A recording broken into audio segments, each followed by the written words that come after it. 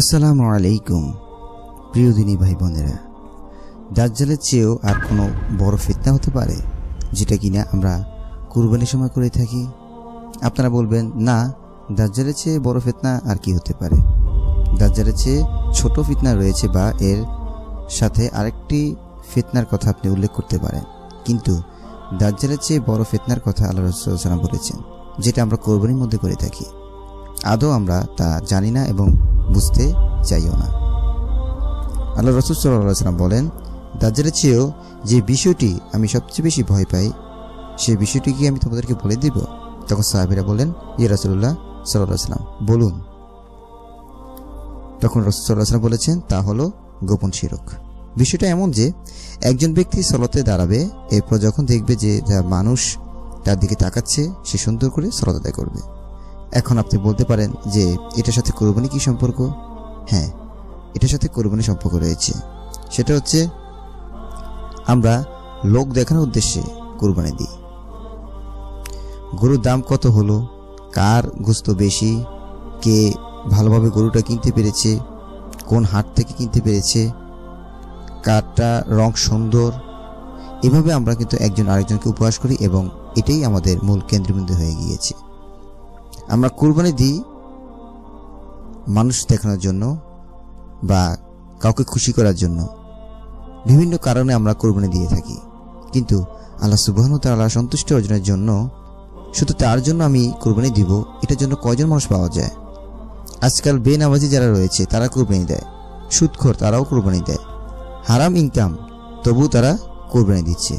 এটা কেন? কেন তারা কোরবানি দিবে? অথচ তারা আরও বড় যে ফরজ বিধান রয়েছে, সেই ফরজ বিধান তারা পালন করছে না।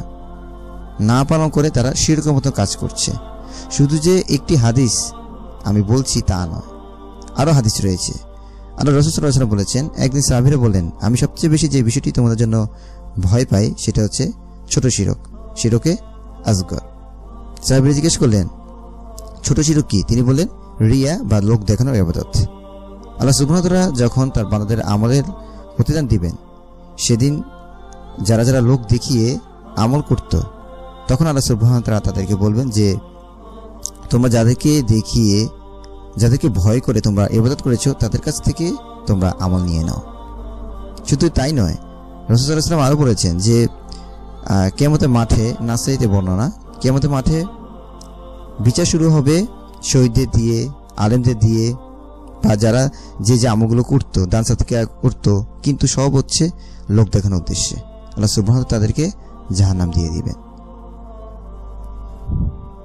তো এইভাবে অনেক হাদিস রয়েছে, যেটা কিনা আপনি যদি লোক দেখানোর উদ্দেশ্য করেন, আপনি যদি অন্য কোনো কারণে করেন ঘুস্ত খাবার নিয়ত করে, তাহলে কিন্তু আপনার কোরবানিটা কবুল হচ্ছে না। আপনি সম্পূর্ণ আল্লাহ সুবাহতার উদ্দেশ্যে কোরবানি দিতে হবে। সেই আদম আলাইসলাম থেকে শুরু করে এই পর্যন্ত যত কুরবানি হয়েছে সব কিছুই হচ্ছে মূল কেন্দ্রবিন্দু হচ্ছে আল্লাহ সুবাহতাল্লার নৈকট্য অর্জনের জন্য। তাকোয়া আমাদের যত গোস্ত, রক্ত যা আছে, কোনো কিছুই যায় না।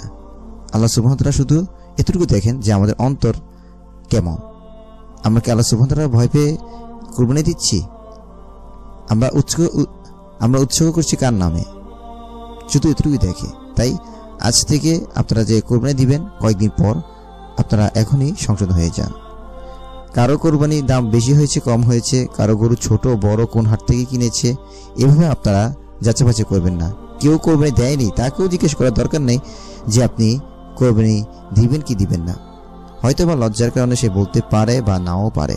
আপনি গোপনে অন্য কারোর মাধ্যমে জেনে নেবেন। আল্লাহ সুবাহ আমাদেরকে বুঝিয়ে মানার তাফিক দান করুক। আমিন।